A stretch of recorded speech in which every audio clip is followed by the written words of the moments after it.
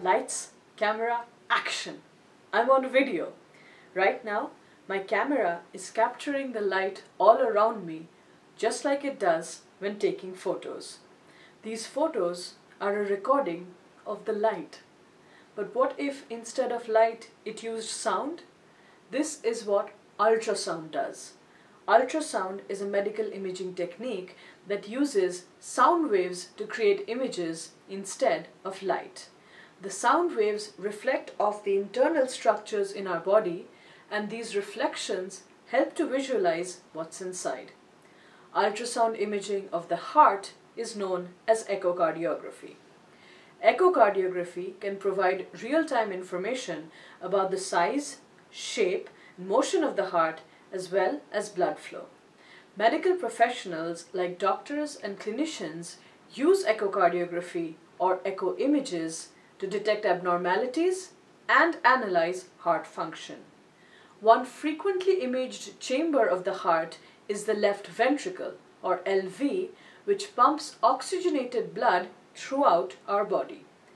Estimating the shape and location of the LV helps clinicians measure this volume of blood and examine heart performance.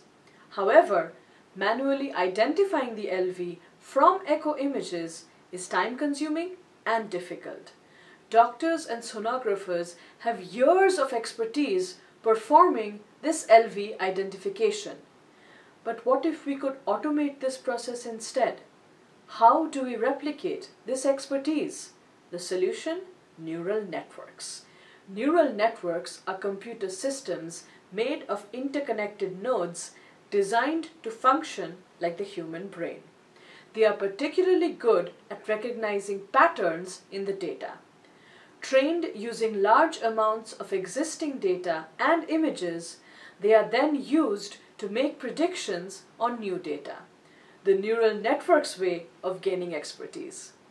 When I supply a neural network with multiple echo images, it can learn the principal features in those images and perform improved predictions.